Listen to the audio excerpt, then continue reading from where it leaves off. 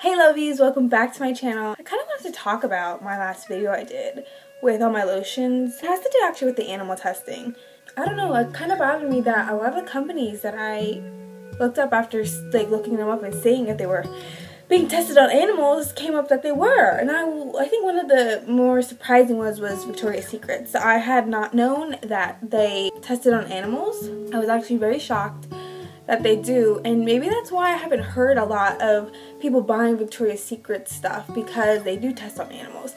Now I do have about I had three products from Victoria's Secrets, a shower gel that I had gotten many years ago. I had already used it up and I have a lotion and a matte lip thing that I bought. I had bought like recently but it was way before I had found out about the animal testing. I'm very disappointed in Victoria's Secrets because I really thought as a company, you know, we're in 2017. Like, why are we still testing on animals? Like, I just don't understand that.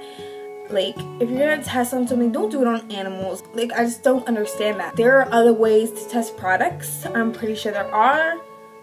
I don't know why we have to go to China and always have this stuff done. I know there's regulations and there's like places in China which are better, but like I just don't understand that. Um, I'm actually going to leave a link below saying what brands actually do test on animals in case anyone is interested.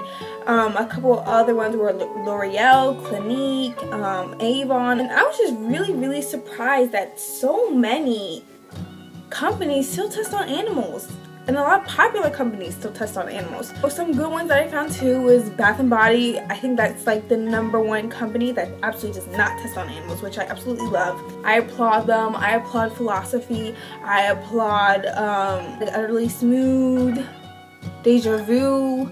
You know, there's so many other brands for you to choose from if you are wanting to look for brands that don't test on animals. I know First Aid Beauty you know, their ingredients, they don't know if they get tested on animals, which for some reason, I don't know why you wouldn't know. You're the company. You should be able to know if your ingredients are being tested on an animal. Like, what?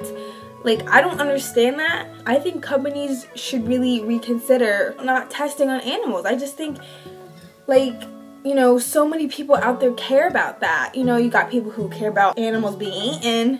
Why not also care about things that are being tested on animals? You know? I, that's all I had to really say. This was just a really short video I wanted to do but um yeah. If you guys you know want to contribute anything please leave something in the comment section. Like I would be happy to discuss this with you because it's something that I feel very strongly about. I don't like animals being tested on. I don't think it's right. I never thought it was right. I'm a big animal lover. Obviously I'm never gonna think that's right. I will see you guys in my next video. And have a good night. Bye